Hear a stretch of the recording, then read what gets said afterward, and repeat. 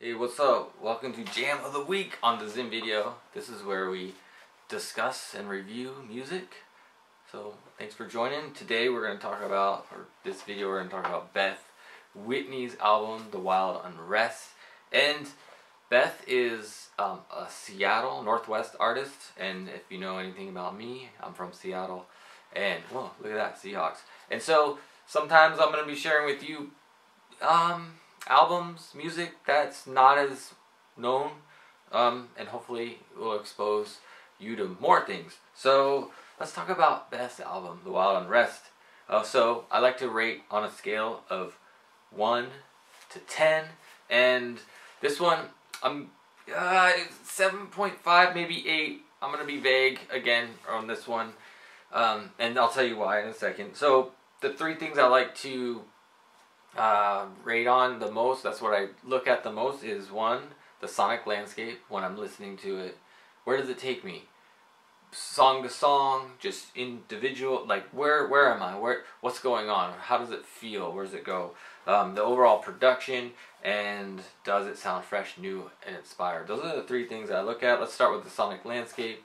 Sonic landscape on this one, very um, it's like a lullaby. It's like I'm I'm sitting in a country, um, next to a river, just listening to the water flow and wanting to fall asleep. It's like that's what it feels like to me. Very peaceful, very restful.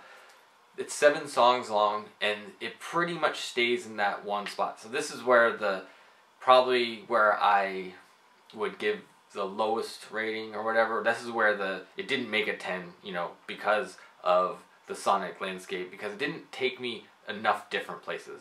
Um, at least for me, when I listen to an album, I like to go somewhere. I like to feel like, oh, one song sounds like this, and then I travel over here, and then I'm coming back, and then I go all around. So this one kind of kept me in one little area. Um, great if that's where you want to stay, if you want to stay peaceful and calm, but I like to kind of move around a little bit more. So that's, for me, the overall production. This is the best part of this album the the production quality was amazing. It's so good. Like the um, the mix, how it was mixed, the choices.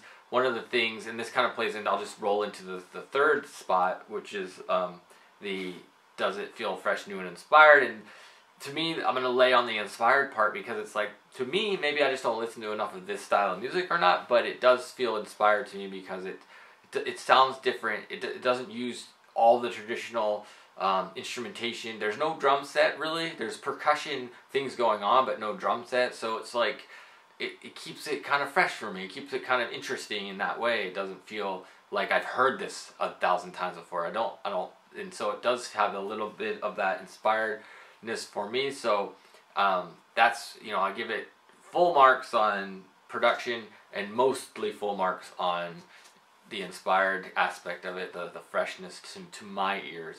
I really liked like that. I don't, I can't just place. I can't go. Oh, that sounds like this band or that band. So and I like that. So it's Beth Whitney's album. Check it out if you haven't.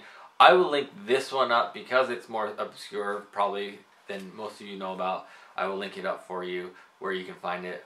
But um, you know, what I think about it is not important. What's important is what you think about it. So hopefully you can get a chance to listen to it, um, check it out, and then let me know in the comments what you think about the album. Um, that would be great. And if you are an artist, a musician, and you want to share your music with me, you want me to hear it, I'd love to check it out.